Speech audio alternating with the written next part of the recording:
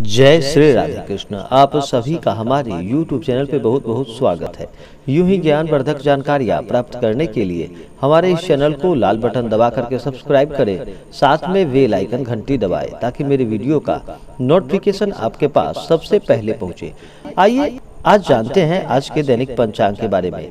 आज दिनांक 21 अप्रैल 2021 दिन बुधवार बुधवार भगवान गणेश का दिन माना गया है आज जिनका भी जन्मदिन है, उनको उनके जन्मदिन की ढेर सारी शुभकामनाएँ। आप सभी भक्तों के ऊपर भगवान गणेश का कृपा सदैव बना रहे।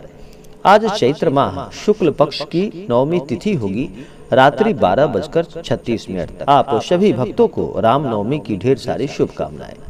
आज चैत्र नवरात्रि का नौवा दिन माता सिद्धिदात्री का पूजन किया जाएगा। माता सिद्धिदात्री हर प्रकार के सिद्धियों को प्रदान करने वाली है। जो भी भक्त सच्ची श्रद्धा के साथ चैत्र नवरात्रि में माता दुर्गा के नौ रूपों का नौ दिनों तक पूजन करते हैं, दुर्गा सप्तशती का पाठ श्रवण करते हैं, माता उनके सभी मनोकामनाओं को पूर्ण करती है।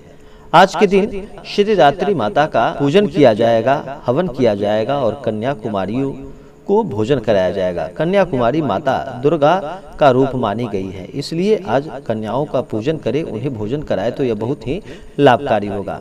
आज रामनवमी व्रत में भगवान राम का पूजन किया जाएगा। सूर्योदय सुबह पाँच बजकर इक्कीस मिनट, सूर्यास्त शाम छह बजकर पंद्रह मिनट। चंद्रोदय, यानी कि चंद्रमा उदित होंगे।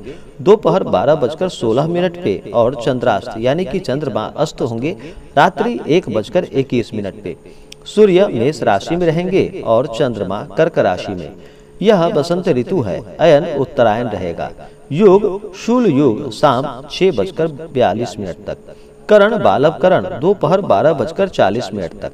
नक्षत्र की बात करें तो पुष्य नक्षत्र सुबह सात बजकर उनसठ मिनट तक। उसके बाद अश्लेषा नक्षत्र।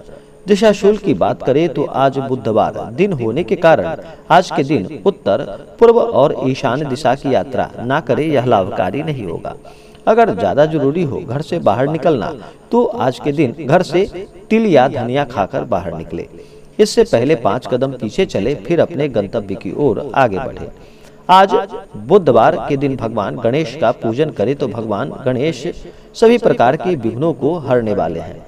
भगवान गणेश को आज के दिन उनको पुष्प चढ़ाएँ, सिंदूर चढ़ाएँ, दुर्वा चढ़ाएँ, लड्डू का भोग लगाए मुदक का तो यह बहुत ही लाभकारी होगा। आइए जानते हैं आज के शुभ मुहूर्त के बारे में। शुभ मुहूर्त अभिजीत मुहूर्त सुबह ग्यारह बजकर तेईस मिनट से दोपहर बारह बजकर तेरह मिनट तक। गुली कालम समय होगा सुबह दस बजकर ग्यारह मिनट से सुबह ग्यारह बजकर अड़तालीस मिनट तक। अब आइए जानते हैं आज के राहु काल समय के बारे में। राहु काल समय की बात करें तो राहु काल समय के दौरान कोई भी शुभ कार्य या नया कार्य नहीं करना चाहिए। यह लाभकारी नहीं होता है। तो राहु काल का समय होगा। दोपहर बारह बजकर चौदह मिनट से दोपहर एक बजकर चालीस मिनट तक। यह विक्रम संबत दो हज़ार अठहत्तर आनंद है और शक संबत उन्नीस सौ तैतालीस प्लव तो आशा करता हूँ कि यह जानकारी आपको अच्छा लगा हो।